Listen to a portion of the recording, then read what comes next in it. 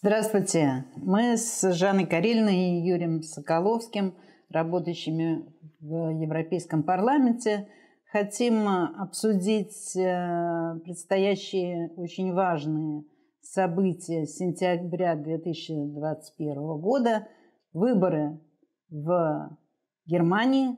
В сентябре также 19 как известно, выборы в Российскую Государственную Думу, а вот 26 э, сентября выборы в Германии.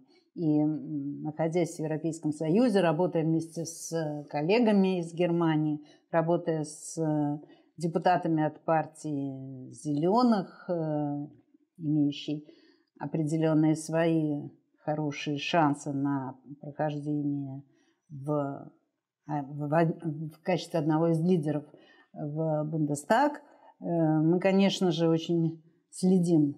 И все, вся Европа, не побоюсь этого слова, следит за тем, что же произойдет в Германии, кто победит, какая сложится правящая коалиция. Я предлагаю Жане и Юрию на эту тему э, обсудить эту тему и поделиться своими прогнозами. Ну, выборы в Германии это, конечно, очень важное, э, важное событие для всего Евросоюза. Понятно, что Анна, Анжела Меркель работала столько лет, это была стабильность, она была предсказуемая, она была понятна, как она поступит. Э, все очень ценили ее работу, и сейчас три совершенно новых кандидата, новых лица, во всяком случае для других европейских стран, Германии это неизвестно. И, в принципе, все с большим э, интересом следят э, за этим процессом. Э, и да, действительно, наша партия зеленых, у них есть хорошие шансы. Ну, и наша. Мы входим в вот сразу, давайте оговоримся. Наша партия Европейский свободный альянс. Да, наши, коллеги. Наши коллеги, партнеры по фракции да, в Европейском да, парламенте. Наши коллеги партии зеленых, немецкие зеленые, но их кандидат, она такая умеренно зеленая, я бы сказала, потому что она не придерживается многих очень резких. Мы э, все с ней лично знакомы. Да, Она да, была помощником депутата Элизабет Шрётер, да. работавшей вместе со мной в комитете по занятости. Угу. Ну, дальше пошла делать карьеру, уже стала депутатом Бундестага, да. И Анна Лена Бирбек, и сейчас является лидером кандидатом в канцлеры. И в случае, если победит если по германской конституции, у них победившая партия ну, не так это точно, но это уже традиция, и, иного не было на всей протяжении истории Федеративной Республики Германия. Э, победив, э, лидер победившей партии или представитель победившей партии, как кого они назначат таковым, становится канцлером Германии. И в случае зеленых, я уже так напомню, это Анна Лена Бирбек – в случае христианских демократов партии, от которой стала канцлером Ангела Меркель, это Армин Лашет, и социал-демократы тут вдруг преподнесли сюрприз. Они э, были все время в отстававших, э, соревновались по количеству голосов как в качестве лидеров зеленые с христианскими демократами, а тут вдруг взял и тех, и других опередил социал-демократ, нынешний министр финансов Юра Шольц. Да. Не, ну, во-первых, да, действительно, Германия очень важная, важная страна после ухода Великобритании из Европейского Союза. Там, центр тяжести еще больше сместился в, в Германию, то есть это и экономический центр, и теперь, можно сказать, и политический центр, политический, центр политической воли, в том числе Европейского Союза. Поэтому эти выборы очень важны. И, кстати, например, вопрос о взаимоотношении с той же самой Россией, это тоже очень важный вопрос, который может быть затронуть эти выборы. А, действительно, то есть заканчивается эра а, Ангелы Меркель, то есть она фактически, по-моему, 17 лет с 2004 года, 17 лет она руководила, э, э, руководила страной. А, и последнее, дело в том, что последние выборы, особенно последние выборы, э, это был вотум доверия ей как канцлеру, и, скажем, значительная часть избирателей, которые поддержали ее партию на выборах, поддерживали даже не ее партию, а поддерживали ее саму. И вот теперь она уходит, и там образовалась огромнейшая, огромнейшая дыра. И теперь проблема ее э, того, кто займет ее место, господина Лашет, о том, каким образом можно эту, эту огромную дыру э, занять. То есть у него такого высокого авторитета, как у Ангела Меркель, нету, и поэтому его... Да еще он его подорвал, улыбнувшись неподходящим Да, момент. вот он э, был, это такой, кстати, один из эпизодов Посетив таких. Э, районы наводненные водой. Да, вот во время... Августовских ливней во время этого он э, как бы он смеялся, и как-то камера поймала его, когда он смеется, кому-то что-то что-то рассказывает, или ему кто-то что-то смешное рассказывает. Это очень сильно не понравилось. Но он был на заднем плане, собственно, это естественно человек. Э, да, но это вот вопрос о том, что когда у тебя нету, когда у тебя есть ну большой большой авторитет, то ты можешь и позволить себе. Политик не должен ковыряться в носу, наверное. Да, вот. Но и второй момент, что сейчас, видимо, э, фактически люди не голосовали на предыдущих выборах за вот эту партию христианских демократов, они голосовали за канцлера Меркель. А сейчас им предстоит выбор между, собственно, собственно партиями.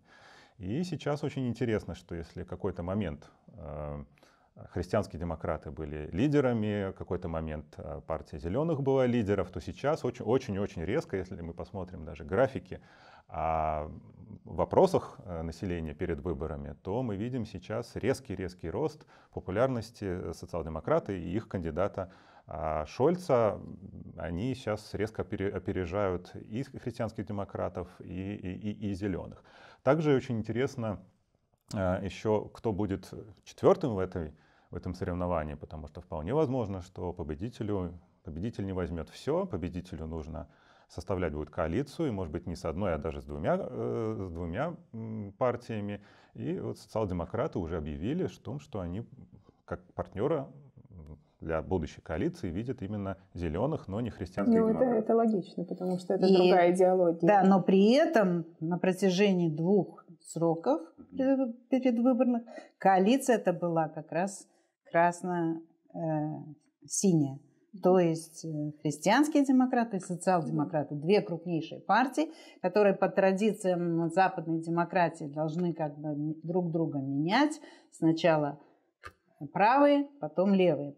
Левые что-то слишком в социалку ударились, плохо развивается бизнес, притормозили конкуренцию. Ага, власть идет к правым, правые а, дают приватизацию национализированные ранее предприятия, э, снижают э, налоги и либеральные э, рыночные механизмы как бы начинают оживлять экономику. И вот такой баланс, он происходит и в Соединенных Штатах, и в Великобритании, там консерваторы, лейбористы, и в Германии на протяжении долгого времени христианские демократы, социал-демократы. И вдруг все смешалось как бы, и на протяжении уже длительного времени коалиция вот этих двух партий, которые как бы должны друг за другом следить, друг друга критиковать и сменять на очередных выборах.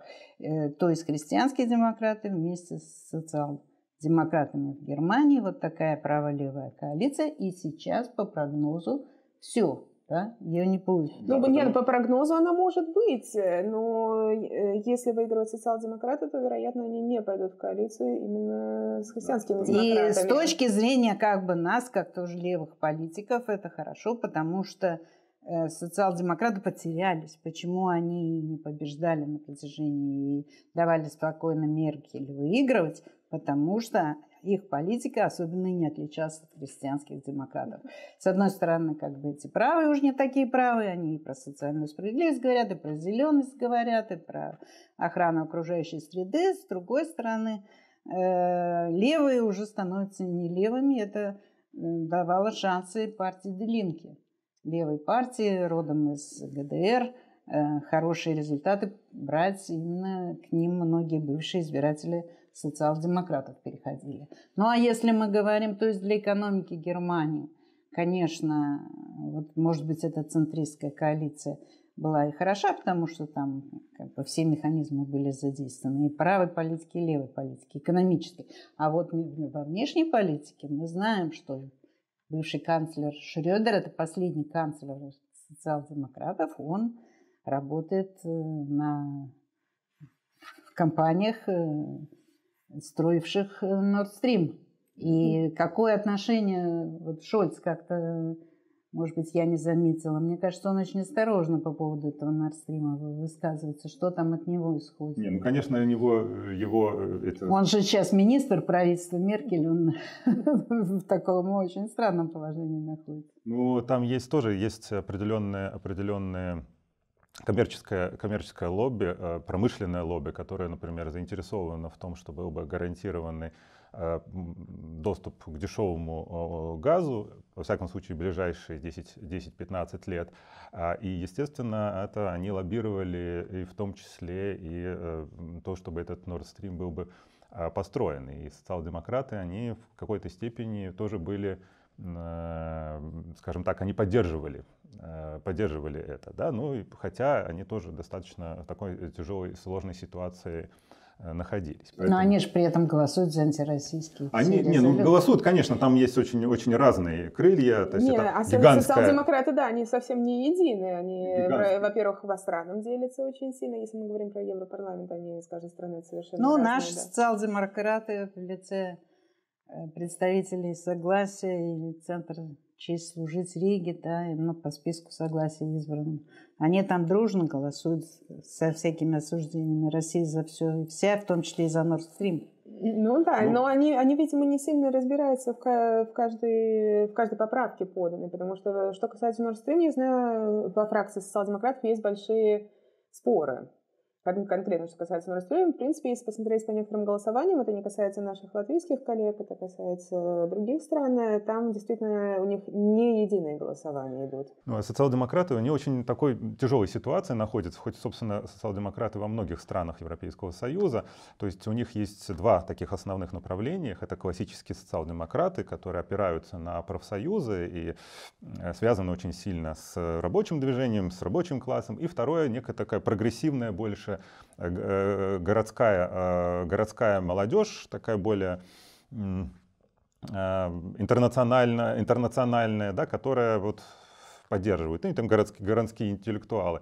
И поэтому иногда происходит очень большой, большой конфликт. Да? То есть вопрос, например, то же самое, а что делать с промышленностью? Да? То есть, с одной стороны, э, вот э, профсоюзы и те рабо- э, люди, которые работают на вот этих заводах, они хотят, чтобы не хотят сильно, чтобы их, их рабочие места сохранились, они опасаются каких-то перемен. Да? С другой стороны, вот некоторое прогрессивное крыло, оно требует этих перемен, и оно, и оно требует. И вот во многих странах... Они больше по домам работают, да? Да, то есть там айтишники, фри, фрилансеры, да, то есть э, какие-то такие творческие профессии, академические там Ну, на них эти перемены не скажутся, они ну, будут просто в, другом, в другой реальности. То есть периодически вот этот конфликт он делает, и когда и руководству всегда приходится маневрировать, да, то есть при принятии какого-либо либо решения, да, то есть все-таки принять решение. Мы видим тоже не только в Германии, да, то есть мы видим то же самое в Великобритании, либористы очень, очень сильно, э, с одной стороны, это лондонская, лондонская часть их избирателей, а с другой стороны, это избиратели... Но они еще пока с консерваторами в правительство не входили. Да, они не входили, но тем не менее вот с этой проблемой они сталкиваются, да, что вот есть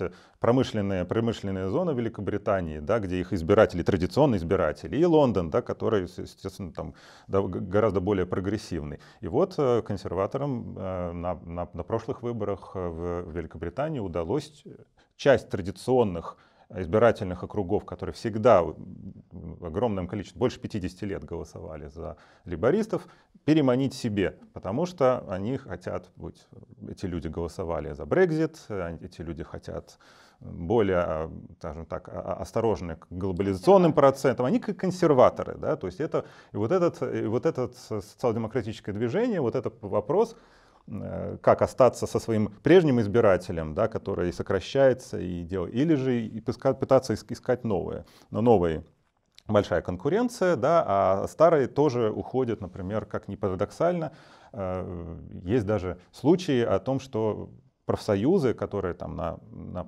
на, которые работают на автомобильных заводах, они становятся не левыми, а правыми.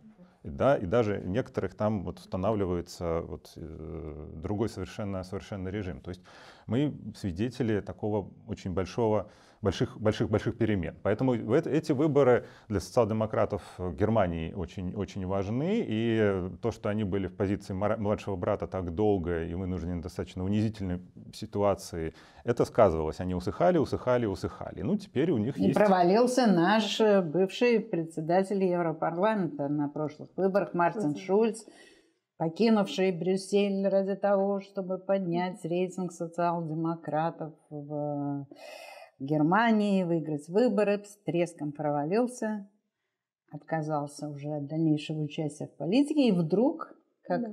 из а коробочки видите, такое, Нет, сейчас, мне кажется... шкатулочки выскакивает Министр Шольц. Шольц, да, Олаф Шольц. Нет, но мне кажется, что это э, сейчас не столько борьба идеологии идет в Германии. По большому счету это борьба лидеров, э, потому что люди смотрят в первую очередь на буд... кандидатуру время, будущего да, время да, канцлера. И в этом плане действительно выигрывают социал-демократы. Олаф Шольц очень-очень многим симпатичен.